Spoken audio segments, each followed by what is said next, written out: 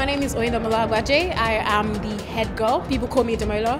Um, so here we're going to have the 2019 David Game College prom. There's going to be dinners, there's a photo booth, Mr. Game. He's about to talk, trying to inspire us to the next chapter of our lives. There's going to be an award ceremony, silly ceremonies, and the important ones as well. So it's just kind of a way to bring everybody together for the last time. First of all, everyone is so hardworking, so pushed, and they want to help the students excel and do well in the exams and carry on to be very successful people later on in life and come back and build, not even build memories, but come back and review the memories we've had over the years.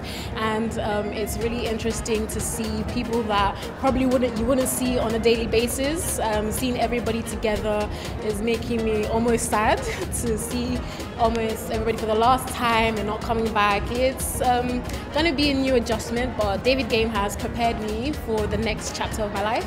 And um, I don't know where I'd be without David Game College. All I can say is enjoy yourself. I'm going to introduce the head boy and head girl now, Ed and Demola. Where are you? You're going to come up and have a chat.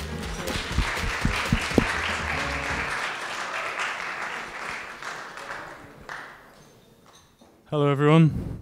Welcome to Prom 2019. Woo!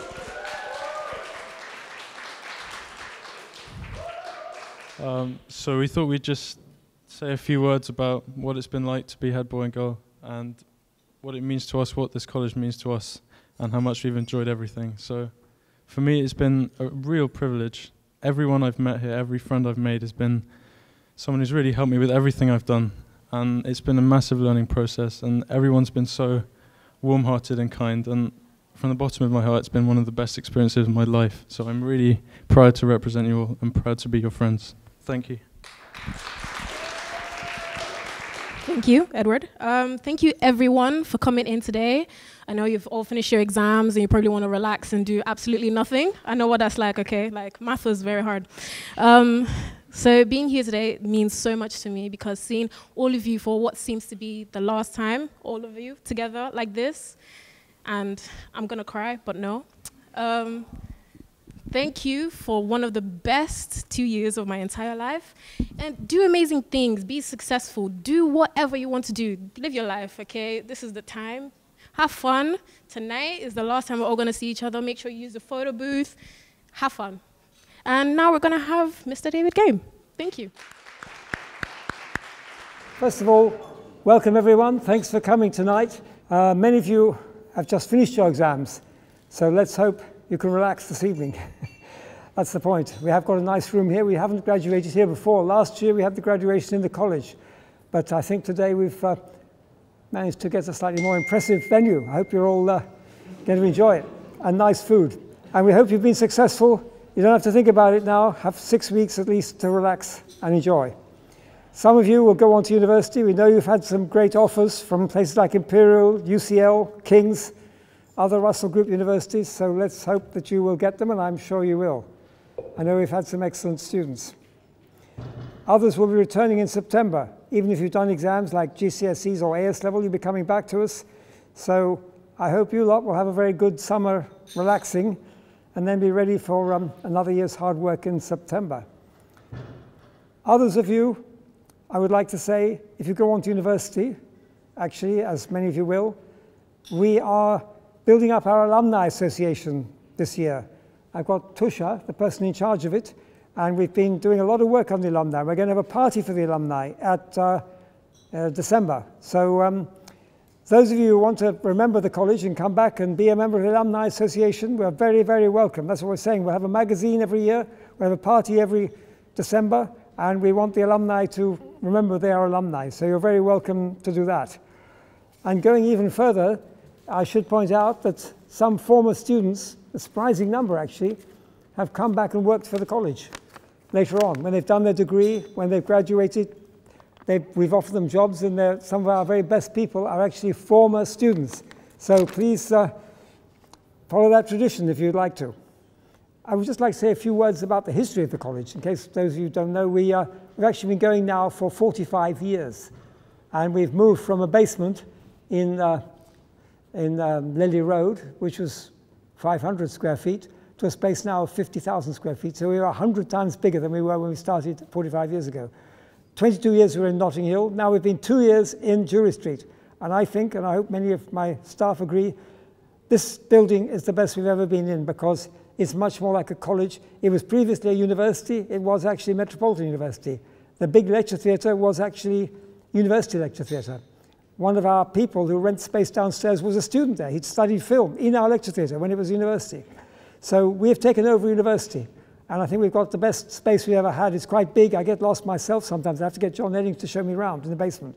But uh, we're growing into it, and I think we are going to have a great uh, future in it. I thought I'd just quote one or two deep thoughts which, um, which I've been reminded of from a chancellor's speech to graduates of a famous African university. I myself was the vice chancellor of African university and used to make speeches to hundreds of students in the day they graduated. This Chancellor's speech said one or two useful short things. One, he said, the hard part is over, but I have news for you. The hard part is actually just beginning. You have much more to learn, but do not worry. You're ready for the challenge. Secondly, he said, you have reason to be proud of what you've accomplished, but you must be humble. Stay humble and be hungry to learn. Thirdly, he said, aim to become problem solvers. This is a very good one, I think. Do not complain about what's wrong unless you have an idea how to put it right. I say that to some of my staff occasionally.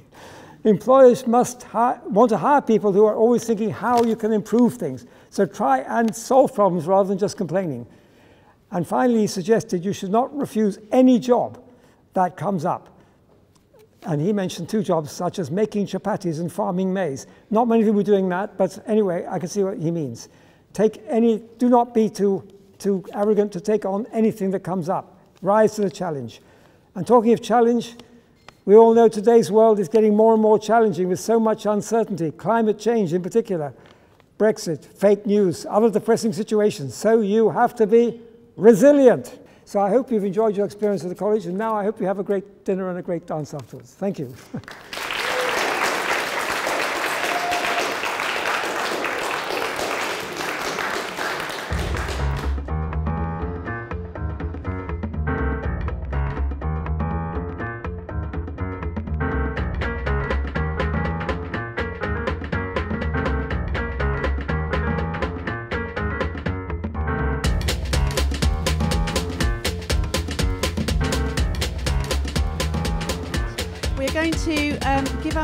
prizes and um, and have a not too long a speech, but we're going to to celebrate some of the achievements of our students that are leaving, and we're going to celebrate some of the more funny things about our students as well, as well as give out some awards. So.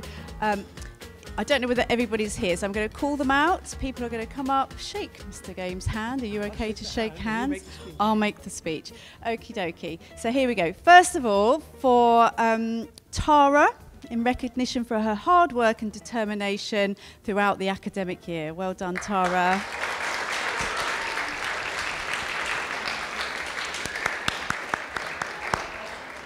Tara has worked so, so hard. So, so hard.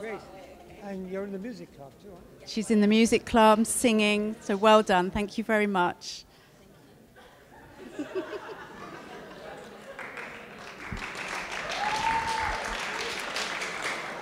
okay, next up we have the lovely Yasna, who has a, an award for her record. Well, it's our recognition for her hard work and determination again. She's worked so, so hard done her UCAS form and got some good offers. Well done. Oh, yeah.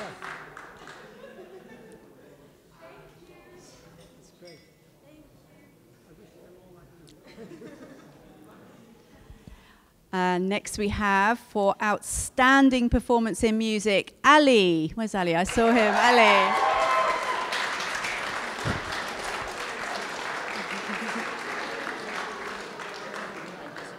Thank you, Ali. And I must say, Ali has inspired us to expand our music department because he really wanted to do music tech when he arrived and we didn't have it. So you are our inspiration, Ali. So well done. Thank you.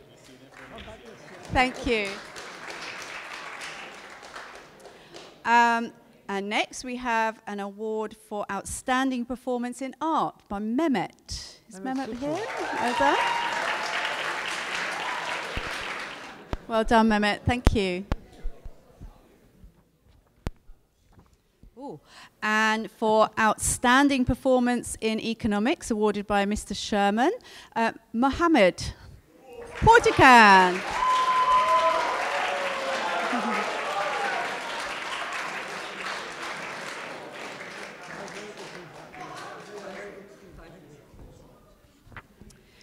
Um, and this person, this is actually an award from me, actually, in recognition for being the most improved student. And he knows who he is. Christopher Marchetti, you've worked so hard this year and come a long way. Thank you very much. Well done.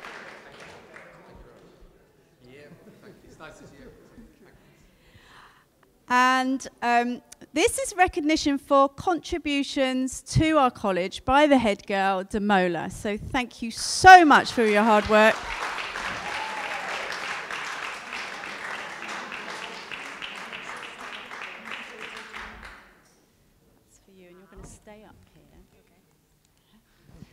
And then also for Edward for his contribution too. Thank you so much.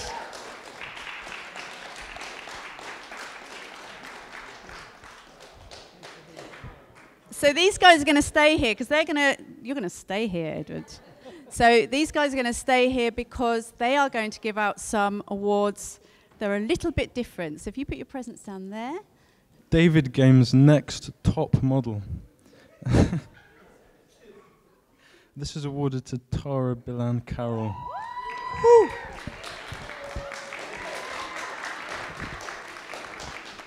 Okay, so everybody knows we did a survey Everybody knows we did a survey. And for this award for best bromance is Parson Ali.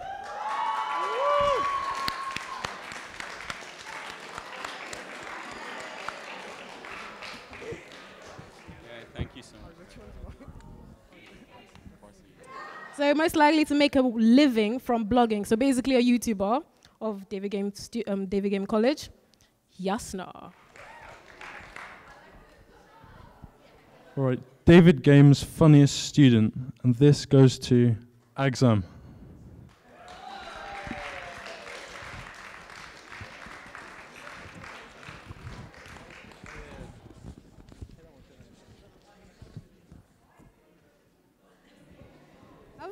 Most likely to win a Nobel Peace Prize. It's probably going to be the most quiet person we know. I have biology with him. He's very annoying. His name is Nathaniel.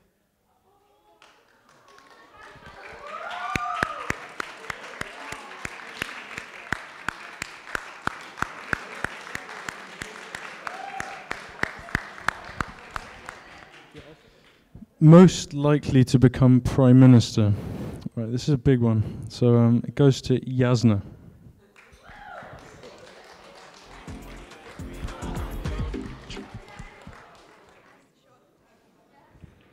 Is most likely to survive the Hunger Games.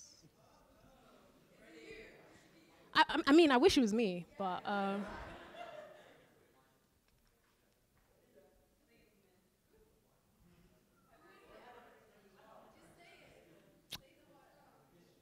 Michelle.